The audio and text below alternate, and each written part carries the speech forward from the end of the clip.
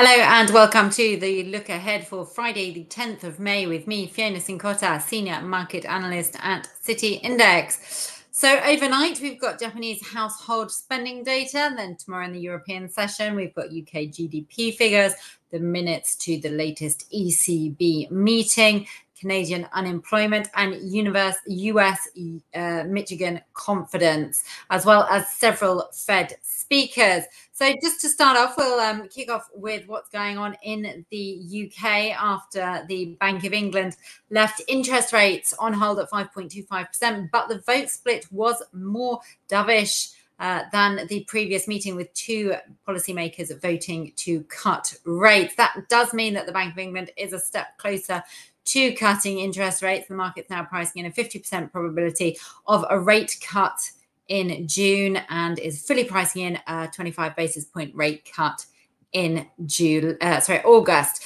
Now, data tomorrow, we've got GDP data expected to show it's the preliminary reading for Q1 and is expected to show that UK uh, economy rebounded in the first quarter of the year, rising 0.4% quarter on quarter after um, tipping into recession in the final quarter of last year.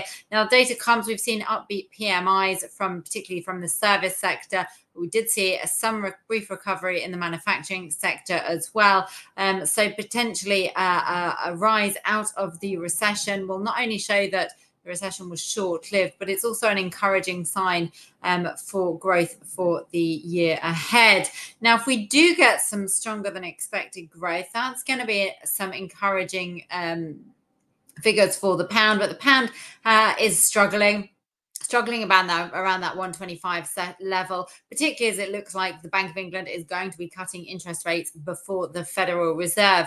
Now, the pound did fall towards the 124 level. I think it was around 124.50 but it actually has recovered after some weaker than expected US jobless claims figures. So we're still seeing the, the pound US dollar sort of around that 125 level. Now, if we get a break below, uh, if we do get sort of um, stronger than expected data, we could see a bit more of a recovery in the pound towards that 125.50, which is where the 200 SMA is. Um, as we move up to then towards the 126 level. Um, on the downside, weaker than expected data could see a move back towards that 124.50 and then on to 124. But I think, broadly speaking, given that the um, Bank of England looks like it could be starting to move on rate cuts before the Federal Reserve, that does mean that the the pound could struggle to really move uh, meaningfully higher. Um, just looking at what else we've got going on. So I said we've got Japanese household spending. That's expected to fall uh, at around 2.4% eh, annually in March, which is not going to be doing the yen any favors. Now, if we can see here, this is the US dollar, Japanese yen. It has been struggling after we saw those two suspected interventions last week, which caused the pair to drop down to that 152 level. Now, we have seen a recovery as the yen has continued to weaken. The yen's weakened even though um, we saw, for example, more hawkish than expected minutes from the Bank of Japan. Markets pretty much shrugged those off and pushed above that 155 level um, as it heads towards the rising trend line support uh, resistance, sorry, at 156.50. And then ahead of there, we'll be looking at the 158 level. Um, on the downside, immediate support, if we get some weaker than expected household spending numbers, then that's going to mean that inflation outlook weakens and we could uh, see the yen fall. Um, sorry, you see the yen fall under those circumstances. That's where we'd see the USD Japanese yen push higher. Um, if we get stronger than expected data, yen could strengthen, could see a test of that 155. Below 155, there's minor support 153.50 and down at 152. So just moving on now, we've also got, as I mentioned, the uh, ECB meeting minutes. This is feels like quite a long time ago now, the ECB meeting, but I mean, the central bank has pretty much um, pointed to a June rate cut. I think, you know, we've seen that inflation is cooling towards the ECB's 2% target. We've seen service sector inflation is also proving to be less sticky than anticipated.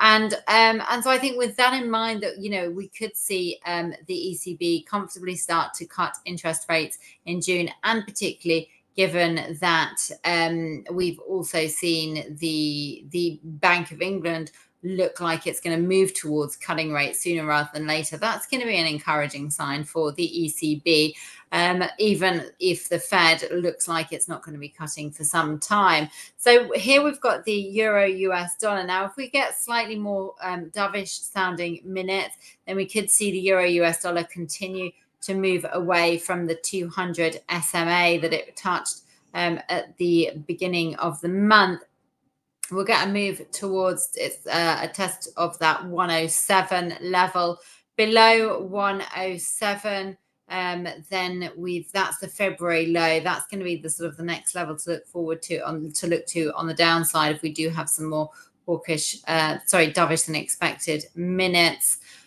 If we do find that there is, um, the minutes show some disagreements between the Hawks and the Doves, and perhaps the Hawks are, are, are more prevalent in the minutes, then um, perhaps we could see the pair move back towards that 108 level. That's the 200 SMA. That's the level to be watching on the immediate upsides.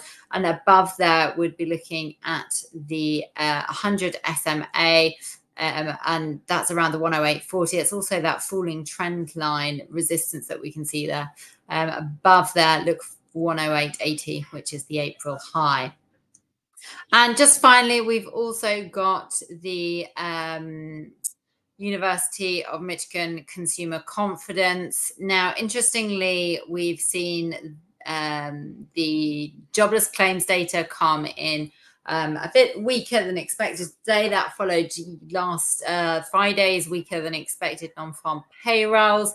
And this sort of weakness is also being matched with sort of hawkish commentary from Federal Reserve officials. So, you know, we've had Susan Collins, the Boston Fed president today, say, sorry, yesterday, say that she thinks interest rates need to remain restrictive for longer. Neel Kashkari earlier in the week was saying that um, you know he questioned whether the Fed will be able to cut rates at all this year. So um, so I think basically the data at the moment, if it's weak data, then that does prove to be good news for stocks because it's being interpreted as um, the fact that the Fed may cut rates sooner. Now we've got this is the Dow Jones. We can see it's extended its recovery. It's moved above the 100 SMA and also the 50 SMA. It's actually now just testing 39,284, which is the February high. If we get a rise above here, then look towards that 4,000, sorry, 40,000 um, record high. On the downside, if um, you know we've got Fed speakers as well, if we hear um, sort of continuing chorus of of perhaps more hawkish sounding feds rather than just the high for longer. If we get any suggesting um, that we might be looking towards rate hikes, then that could be a real dampener for stocks and we could see a retest. On the downside, look out for 38,500 as an immediate level of support. So thank you very much for watching. I hope you like what you've seen. And if you have, then please do give this video a like. Otherwise, please do press follow to subscribe.